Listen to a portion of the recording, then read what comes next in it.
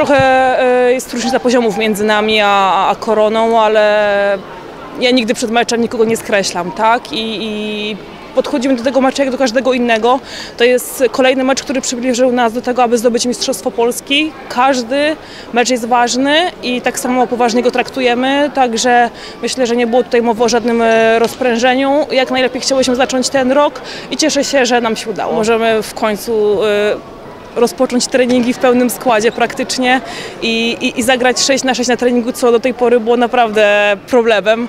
E, także myślę, że trener ma również e, duże ułatwienie, może rotować składem, tym bardziej, że czeka nas bardzo dużo spotkań e, w styczniu, więc dla niego na pewno jest to duży komfort. To jest pierwsze spotkanie w nowym roku i podeszliśmy do tego na, na 200% przygotowane przede wszystkim mentalnie, bo wiedzieliśmy, że to będzie grało dużą rolę, żeby nie lekceważyć przeciwnika i przede wszystkim zagrać swoją piłkę ręczną. Ta przerwa do ligi wystarczyła na regenerację sił i, i to spotkanie jest tak jak planowałyśmy, wygrałyśmy wysoko, o to właśnie chodziło dziś.